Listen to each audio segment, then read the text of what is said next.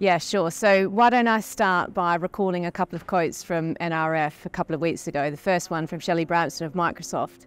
It's quite cheesy, but it's also quite pertinent. She said, You can't spell retail without AI. Now, of course, she also then said that data is to AI what inventory is to shops.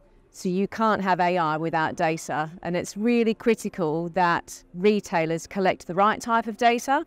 It's not abundance of data, it's not everything that you can, you know, poke a stick at, but get the right type of data to help enable the, the AI in the future.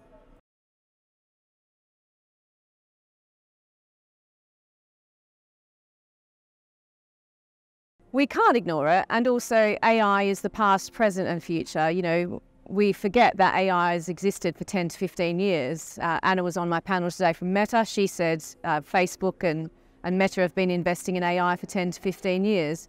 We've been using AI in other fields outside of retail for probably even longer than that. And I think, you know, the Turing Institute, if you look back to, you know, when they were um, writing code and, you know, code breakers back in, in World War II, uh, a lot of that was the onset of AI. So it has existed for years.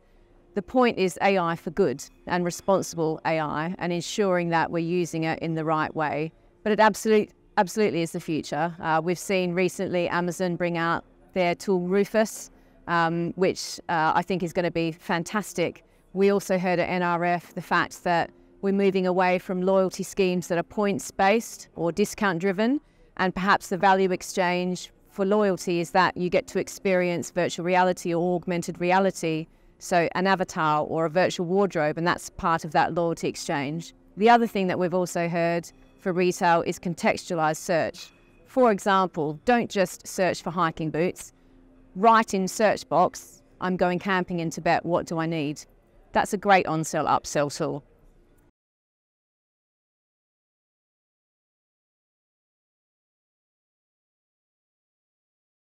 I've never been to a conference where I haven't come away and said that was brilliant. It was just so good to connect with humans. Uh, it's inspiring to hear other people's stories. You learn so much, you see so much. Um, I think, you know, traditional retail was often criticised for uh, being really insular and navel gazing. And actually, with the onset of AI and different technologies, and also in the spirit of partnerships, we are forced to look outside of our own ecosystem. So a conference like this is brilliant for bringing the best of breed together.